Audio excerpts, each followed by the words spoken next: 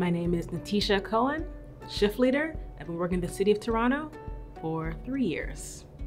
When I hear the statement that homelessness is a downtown problem, I don't agree. I think homelessness is a societal problem. I think there's different things in society that um, cause individuals to enter homelessness. A lot of times when individuals might say, I don't want it in my neighborhood, not in my area, I think people forget that people have had different experiences that brought them to homelessness. So they could actually be your neighbor beforehand. So they already are in the area. They're in an area that they're familiar with. And I think it's important for us as a community to support members in our society to have different opportunities to change their situations.